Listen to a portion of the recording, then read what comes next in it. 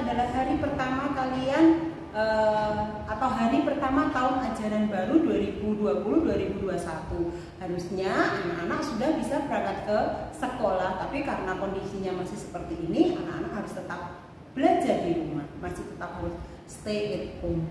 Nah, untuk kali ini Us Ambar hanya akan menjelaskan, kita belum belajar, belum masuk pada materi, Us Ambar hanya akan menjelaskan kontrak kontrak belajar atau syarat belajar apa yang harus dilakukan ketika anak-anak sudah belajar kelas 1 di SD Muhammadiyah program khusus Kota Barat Surakarta. Begitu ya? Nah, sebelumnya kita awali dengan membaca basmalah dulu.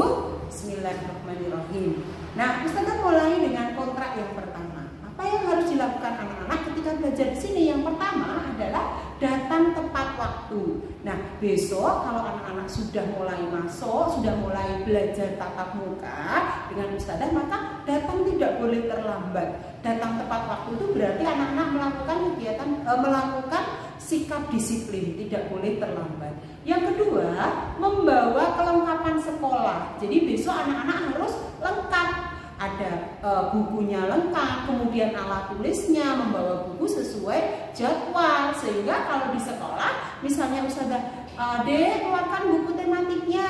Anak-anak ini us begitu ya. Jadi tidak semuanya lengkap lah. Kelengkapan itu disiapkan di malam hari sebelum besoknya berangkat ke sekolah. Kemudian yang ketiga, siap untuk belajar mandiri. Nah, karena di SD itu sudah semakin besar, tentunya harus semakin mandiri. Contohnya Pak Sambar, contohnya besok kalau sudah ke sekolah misalnya diantar mama sudah cukup sampai di bawah kemudian naik ke atas e, menuju atau masuk ke kelasnya sendiri.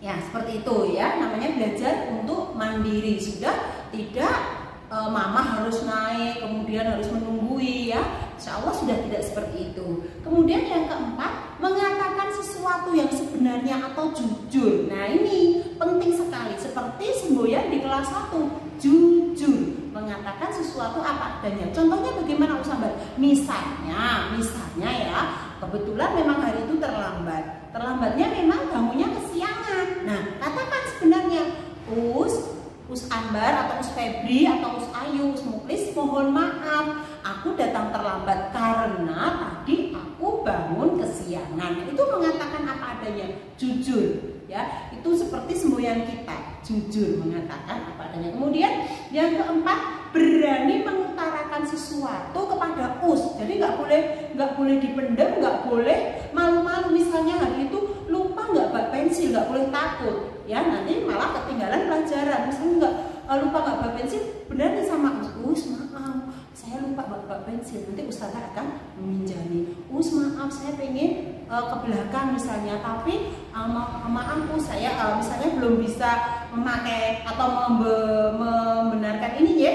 Ini ya dek ya uh, celana dan sebagainya. Mato ya berani harus punya keberanian. Kemudian yang keenam menyayangi semua teman. Nah ini harus ru rukun. Tidak boleh boleh tidak boleh pilih-pilih teman maunya mainnya sama ini terus maunya mainnya sama ini terus nggak boleh harus semua sama rukun menyayangi semua teman dan tidak boleh pilih-pilih teman kemudian yang terakhir adalah ini tidak boleh pilih-pilih makanan besok itu deh kalau kita sudah normal di SDPK itu ada snack, ada makan siang dari dari sekolah. Anak-anak nggak boleh pilih-pilih apa yang ada di situ disyukuri. Misalnya kebetulan belum mengenal makanan itu, silahkan minta sama us, us paruh dulu ya us, us nyincipi dulu. Misalnya us mau, nanti tambah lagi. Jadi gak ada alasan untuk pilih-pilih makanan.